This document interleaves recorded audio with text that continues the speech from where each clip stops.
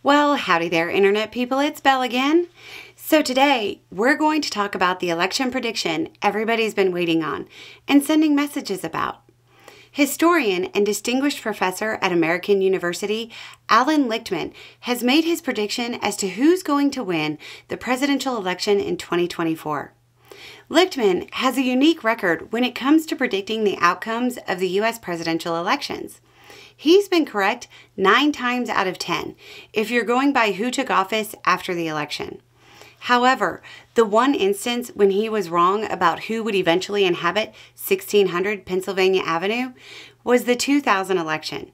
You know, the Bush v. Gore election that is still hotly debated today. Lichtman's system is based on a series of true false statements about the incumbent party. We have a couple of videos going over how the statements work in detail. But here's a brief recap. Lichtman calls them keys, as in keys to the White House. There are 13 keys in his system, and each key is a true or false statement related to the political situation in the U.S. If eight or more of the 13 keys are true for the incumbent party, its candidate will win the election. But if fewer than eight are true, the opposing party will win. He described the system in a recent video as, quote, big picture true false questions that tap into the strength and performance of the White House party.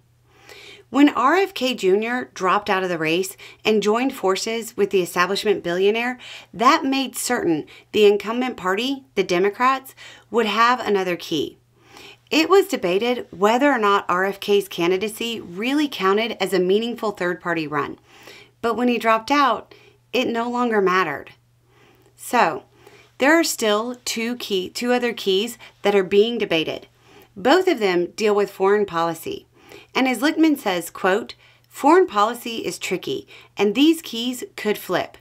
But even if both fell in favor of the Republican candidate, the Democrats still have eight of the keys.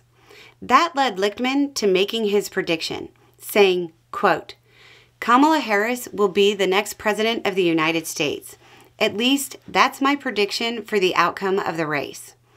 Lichtman seemed aware of the observer effect because he followed his statement up by saying, quote, But the outcome is up to you, so get out and vote.